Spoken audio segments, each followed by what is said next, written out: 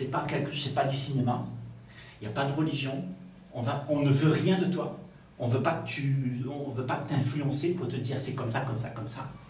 Juste on est là et on regarde les choses comme elles sont, pas comme on aimerait, pas comme on a entendu, mais juste comme elles sont. Tu vois? Et si on peut faire ça, sans dire que il faudrait que ce soit comme ça, parce que je pense que c'est pas comme ça. Parce que tu vois, chacun d'entre nous, on pense. Hmm? Et on pense à des choses qui sont figées en nous. Parce que ma culture, c'est comme ça, ma maman m'a dit c'est comme ça, je suis français, l'autre là-bas, il est musulman, l'autre là-bas, il est chrétien. Donc tout le monde regarde midi à sa porte finalement. Tu vois?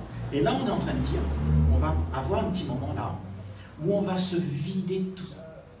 On n'est rien du tout. On va être dans un moment silencieux, où on va exprimer qu'est-ce qui vient de ce silence C'est-à-dire ce que tu es pour de vrai, la, la vraie nature de toi, sans que ta tête cause. Parce que ta tête, c'est l'héritage de toute l'humanité avant toi. Et avec ça, tu as toujours géré ta vie. Tu as toujours fonctionné avec ça. Donc on t'a dit comment il faut faire, comment tu dois être, comment tu dois te comporter. Et tout le monde fait ça. Et là, on est en train de dire, on va arrêter tout ça. On va être ensemble là, dans un endroit silencieux de soi, et on va accepter tout ce qui se dit. Quand on acceptera, on aura tout mis sur la table, ok? Et chacun d'entre nous saura si c'est vrai ou pas vrai. Parce que on ne va pas annoncer une tempête là. On le sait. Tout le monde sait si c'est vrai ou pas vrai. Parce que c'est inné en soi. La joie de vivre, c'est inné en soi. Mais il y a quelque chose qui nous empêche de voir, qui, qui nous empêche d'aller vers cet état-là. Alors, je crois qu'il est bon, ensemble, de voir qu'est-ce qui nous empêche? Parce que ce n'est pas la joie qui est intéressante, mais c'est de savoir qu'est-ce qui empêche la joie d'être. Parce que la joie, elle est là. Mais si tu ne sais pas qu'est-ce qui empêche la joie d'être, eh bien, tu seras toujours en train de chercher euh, la joie. Et la joie, ce n'est pas quelque chose que tu cherches. Le nirvana, ce n'est pas quelque chose que tu cherches. Si tu cherches ça, qu'est-ce que tu cherches? Tu cherches ce que tu connais, ce que tu imagines, parce que tu désires ça. Et en fait, tu es prisonnier de tout un système en toi qui t'explique comment tu dois arriver à ce que tu aimerais. Et quand tu as les affaires, mais tu es déçu. Parce que tu as rencontré ton rêve, tu as rencontré l'image que tu aimerais voir, l'idéal que tu aimerais. Et en fait, tu n'es jamais satisfait parce que tu rencontres quelque chose qui est faux. Ce n'est pas une réalité que tu as rencontré. Tu as rencontré ce que tu as fabriqué. Et quand tu vas vers toutes ces choses que tu as fabriquées, eh bien ça, ça s'appelle l'activité mondaine. Le monde est comme ça. On vit comme ça tous, chacun d'entre nous. On a appris à vivre comme ça. On t'a imposé de vivre comme ça. On t'a dit va à l'école, oui, apprends bien, tu auras une belle voiture, une belle maison, tu seras heureux. Et on a, a été habitués. Et pour nous, c'est devenu même essentiel. On, donne beaucoup d'importance à demain. Mais demain n'a pas d'importance, puisque demain n'existe pas maintenant. Donc tout se passe maintenant. C'est pour ça qu'il ne faut pas s'égarer, aller trop loin dans nos idéaux, nos désirs, parce que nos désirs font partie de ce que nous avons vécu et on aimerait les faire exister à nouveau. Donc ce qu'on aimerait, ce sont, ce sont toutes nos mémoires qui ont été là et on a chéri ça, on les rumine et on dit c'est ça que je veux. Mais en fait, quand tu dis que c'est ça que tu veux, ben tu vas courir derrière et comme on disait tout à l'heure, tu ne rencontres pas la réalité, tu rencontres seulement ce que tu désires. Parce que ce que tu désires, c'est le passé. Et le passé n'existe pas. Donc tu te retrouves à toujours courir derrière quelque chose qui n'existe pas. Donc, c'est pour ça que le monde, aujourd'hui, on vit dans l'éphémère, on vit toujours avec un sentiment d'insatisfaction, et la plupart de la planète, je dirais la plupart des gens, sont dans cette trame de vie. Nous voulons quelque chose. Et là, il s'agit de savoir pourquoi nous résistons à la vie? Parce que nous voulons quelque chose qui n'est pas la vie. Et, la vie qu'on a, eh ben, c'est quelque chose qu'on invente. Et nous, les humains, on aime bien inventer. Parce que tu vois, la vie qu'on a en général, c'est celle qui nous donne du plaisir.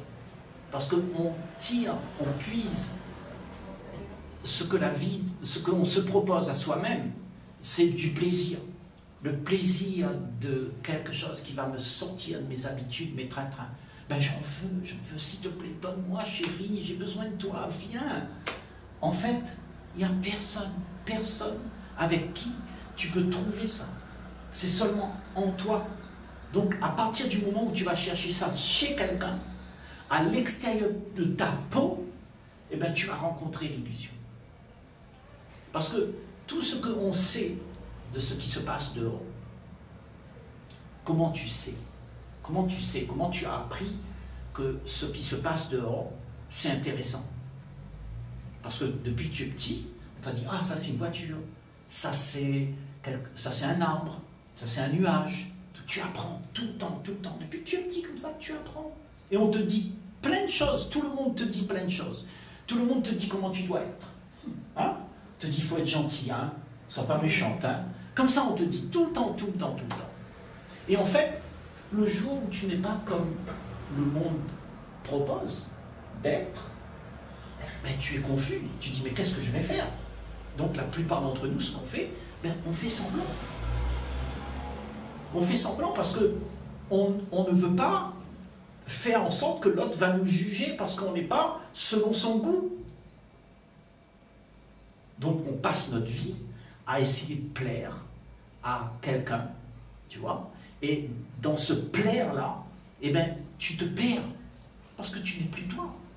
Parce que tu montres à l'autre ce que tu devrais être. Or, ce que tu es, euh, ça n'a jamais été quelque chose que tu peux devenir. Tu as toujours été là. C'est pour ça qu'il n'y a rien à chercher à être. Tout ce que tu es, c'est ça. Mais le monde t'a expliqué qu'il faut réussir, il faut devenir pour pouvoir te pavaner, pour pouvoir te conformer à la société. Et si tu n'es pas comme ça, eh ben, tu es rejeté, tu es mis de côté. Et toi, quand tu vois ça, eh ben, qu'est-ce que tu fais? Eh ben, tu acceptes tu acceptes parce que ça te fait peur de ne rien être. Tout le monde t'a dit qu'il faut être quelque chose. Donc toi, tu es formaté. Ton formatage, c'est d'être quelqu'un. Et ça, c'est faux. C'est de l'illusion. Donc tu crois qu'il faut continuer comme ça. Et est-ce que on peut voir la vie autrement qu'à travers ce qu'on connaît? Tu vois, tout ce que tu connais, c'est ce que tu te donnes d'être.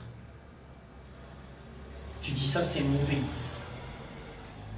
Ça, c'est à moi. Ça, c'est ma femme. Ça, c'est mon homme. Tu vois, donc tu regardes les choses comme ça.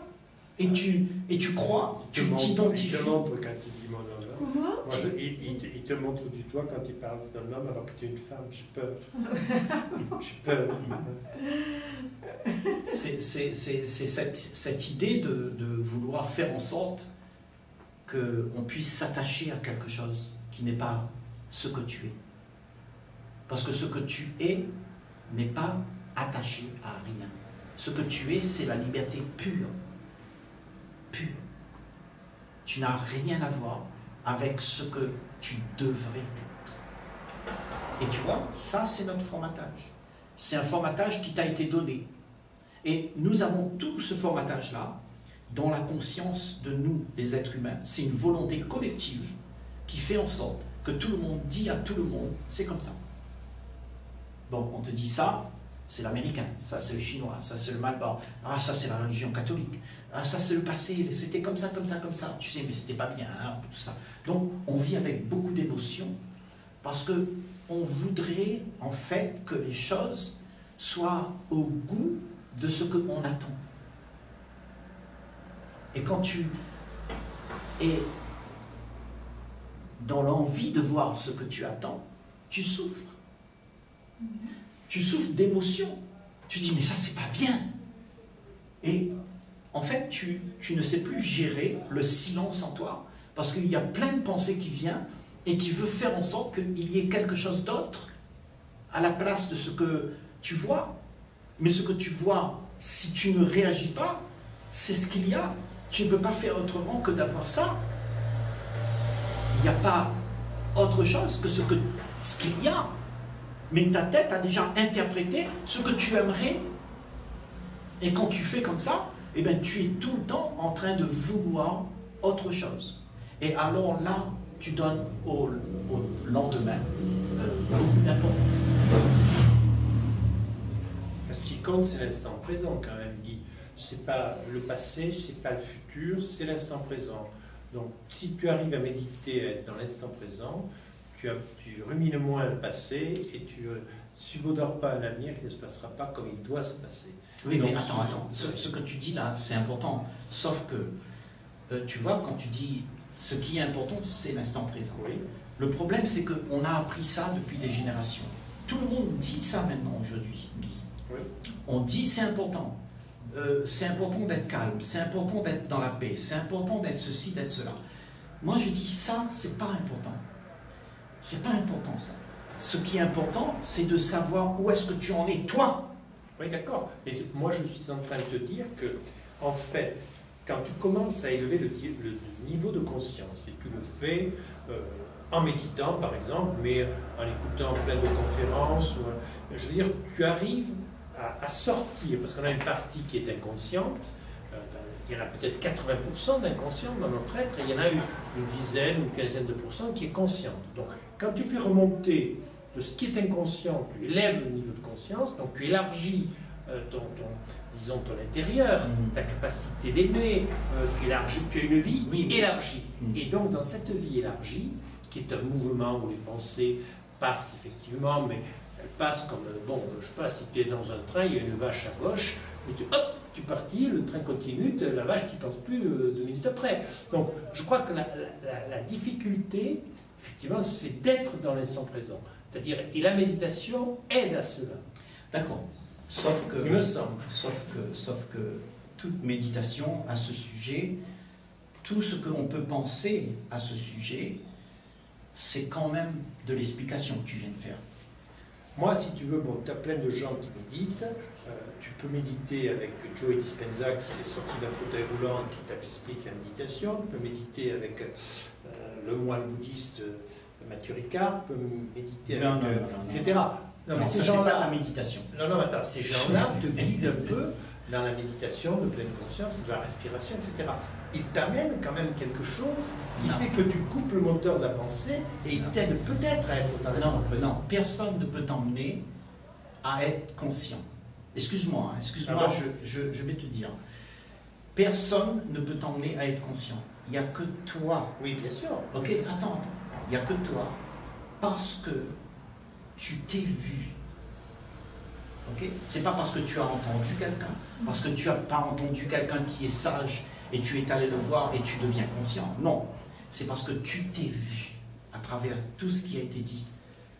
C'est quand on se regarde. Et quand tu as vu, tu as vu, attends, quand tu as vu tout ce qu'il y a de médiocre que tu n'as jamais accepté. Ok? Parce que c'est ça notre problème. C'est qu'on peut avoir toutes les plus belles explications du monde, le plus grand gourou, on peut rencontrer, lire tous les livres de la planète, mais si tu ne t'es pas vu, si tu ne veux pas te voir, tu seras toujours aveugle. Tu peux faire toutes les méditations du monde. Mais moi je dis, je dis que nous les êtres humains, on doit passer à travers une phase douloureuse, je dirais. Mais cette phase douloureuse, tu dois l'accepter. oui, mais si tu veux, qui excuse-moi, quand tu commences un itinéraire intérieur, d'accord tu vas au fond de toi où il y a effectivement des zones qui ne sont peut-être pas très lumineuses. tu, à la rigueur, même ton ego s'effondre parce que le chemin commence à se faire, un chemin de lumière qui vient du fond de l'être. C'est-à-dire, c'est sûr, il ne vient pas du. Alors les gens se disent, bon, quand tu, tu éveilles la conscience, c'est vers le haut que ça se passe. Non, c'est vers le bas. C'est vers le bas qu'il y a des zones d'ombre qu'il faut éclaircir. C'est là que s'élargit la connaissance de soi. C'est là qu'on peut peut-être découvrir l'instant présent. Oui. C'est la connaissance de soi qui permet aussi, parce que on est des êtres d'amour, on, ah ouvre les horizons. voilà, parlons-en. C'est quoi la connaissance de soi? C'est quoi Comment se connaître soi? C'est quoi Tu regardes dans un miroir, tu te vois? C'est quoi la connaissance de soi? Moi, non, pour réfléchir ensemble, Guy. Oui, C'est pas pour te contrer quoi que ce soit. Hein. C'est juste pour qu'on puisse alors, alors, alors, tous ensemble oui, aller dans une réflexion, qu'on puisse s'éveiller. D'accord. Alors j'ai eu la chance d'être présent à la Sorbonne avec Marie-Madeleine Davy, qui m'a dédicacé un livre, une grande euh, philosophe, sur la connaissance de soi. Et la dédicace, c'était La connaissance et l'amour ne font qu'un. Ça veut dire que ce n'est jamais terminé, la connaissance de soi, l'itinéraire intérieur. Hmm. Elle, D'ailleurs, j'ai ce, livre dans, la bibliothèque. Effectivement, les dispositions d'amour, la lumière, l'itinéraire intérieur qui n'est jamais terminé. Guy, j'entends tout ça. Oui. C'est des explications, tout ça. Mais moi, je veux que chacun d'entre nous, oui. on puisse aborder cette thématique-là oui. réellement en soi, là, Bien sûr. Pas juste pour expliquer. D'accord. Moi, moi, je pense que l'explication, on en a plein dans ce monde. Et tout le monde t'expliquera les choses à sa manière. Ok Tu peux aller à la Sorbonne, tu pourras aller chez l'autre gourou là-bas, il va te dire d'une autre manière, et tout le monde aura sa manière. Moi, je dis, tout ça, ça ne vient pas de quelqu'un. Écoute bien ça. Quelqu'un de l'autre côté ta peau ne peut rien pour toi. Ça veut dire qu'il faut que tu te connaisses toi. Oui, mais Attends, attends, attends, attends. Toi, ce que tu es là, c'est un paquet de mémoire. Tu enregistres. Tu dis, lui, il m'a dit ça, il m'a dit ça, j'ai enregistré. Alors, qu'est-ce que je vais faire avec ça? Donc, tu auras une idée de comment tu dois te comporter. Tu auras une idée de comment méditer. La méditation, ce n'est pas quelque chose que tu fais, ça. La méditation, c'est quelque chose qui arrive. Il n'y a pas quelqu'un qui médite. ok? À partir du moment où il y a quelqu'un qui médite, il n'y a pas de méditation. Il y a juste quelqu'un pense, quelqu'un veut, quelqu'un voudrait atteindre quelque chose. Là, on est en train de parler d'un moment ensemble où on peut sortir de toute cette enclave dans laquelle on a été bercé toute notre vie. Tout ce qui a été dit, oublions. Oublions ce que tu sais. Parce que ce que tu sais, c'est quelque chose que tu as appris et que tu le refourques comme ça. Mais est-ce que ça, c'est un vécu Est-ce que tu es présent là, maintenant? Est-ce que tu, tu es effondré par la vue de ce que tu vois? Est-ce que tu es tu es choqué par le fait que tu sois cet homme qui te ment à toi-même? C'est ça faire la connaissance de soi. C'est pas une explication. L'explication, on en a plein. Et tout le monde voudra l'expliquer à sa manière. Je n'ai pas dit qu'il n'y avait pas d'effondrement de l'ego pour atteindre la connaissance de soi. C'est sûr Ne le prends pas personnel, hein, tu Comment sais. Non, ne le prends pas personnel. Non, non, non, non, non, mais moi j'aimerais que chacun, à partir de ce que je dis, par exemple, aussi, puisse s'exprimer, à part toi, sur, puisqu'on est là pour ça, pour savoir exactement vue. On va en venir points de vue. Mais euh, on va en venir à ça. À ce moment-là, on verra. On va, on va en venir à ça, d'accord Que tout le monde puisse s'exprimer. Mais avant ça, je voudrais juste élaborer un peu le terrain. Pour qu'on puisse tous être sur la même longueur d'onde. Pas ma longueur d'onde parce que j'ai compris ci ou ça, ok? Mais juste quelque chose qui soit commun à nous tous ici. Parce que c'est tous, on sait tous c'est quoi souffrir. ok? On sait tous c'est quoi la confusion. ok? Et on est tous comme des yo-yo. Haut, bas, haut, bas, haut, bas. Tantôt on est content, tantôt on n'est pas content. Si on a les choses comme on aime, ben, ça va bien. Et si c'est pas comme on aime, comme on aime, eh ben on souffre. On connaît tous ça. Ok? Moi, mon, mon grand, ce que je prône, je dirais, c'est de savoir qu'est-ce qui fait que tu puisses voir la vie autrement que comme ça. Tu vois Et sortir de ça. Pas dire qu'il faut faire de la médiation. Oui, on sait, tout ça, on sait, on sait. Ça, c'est des explications de comment. Mais moi, je dis, il faut aller là, le vivre, pas comme une explication. Et quand on parle d'explication, eh ben, on parle aussi de mémoire.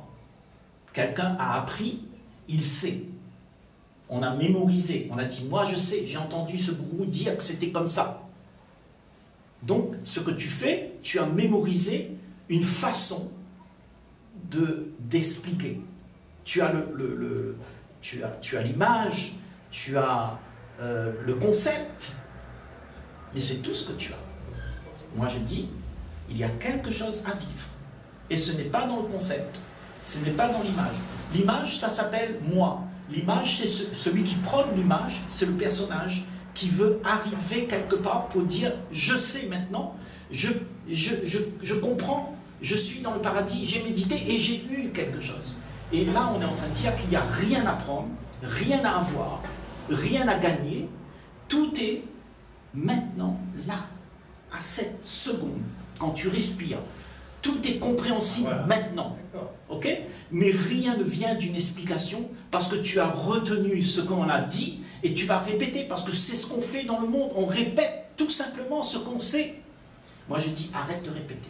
D'accord, mais enfin, quand, par exemple, quand le premier geste qu'on fait quand on est, c'est respirer. Et parfois, on oublie de, par exemple, savoir respirer. Bon, tu, tu as parlé de la respiration à l'instant. Donc, respirer, pour couper le moteur de la pensée. Attends, attends, tu dis savoir respirer. attends, attends, attends. Qui doit savoir respirer? Mais on sait respirer.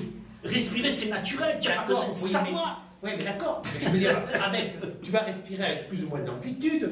Moi, je non, non, non. J'ai appris. Tu vois, ça, c'est de la, c'est la gnognotte. Je vais te dire pourquoi. Parce que toutes ces histoires de respiration, de méditation, de règles, de concepts, des machins, tout ça, ça nous a emmené où? Ah, Ça fait très longtemps qu'on fait ça, je, Guy. Très très longtemps que tout le monde dit comment ça doit, on doit respirer comme ça, s'asseoir comme ça, avec des attitudes, machin comme ça. Où est-ce qu'on en est aujourd'hui? Qu'est-ce que tu es? Tu es toujours dans, tes histoires, tes machins, tes mémoires.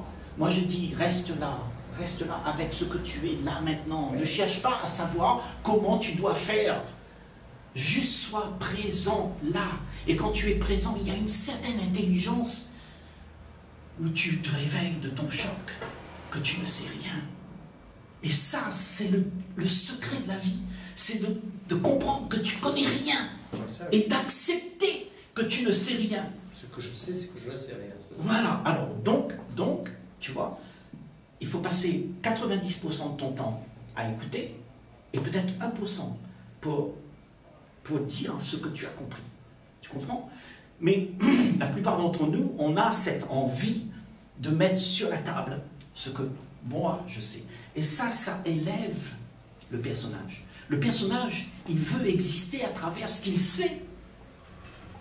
Ok? Mais quand tu sais rien, tu n'as plus de personnage. Donc le personnage, il est dissous. Il est dissous parce qu'il n'y a plus quelqu'un qui veut se faire valoir. Moi, je dis tout ça.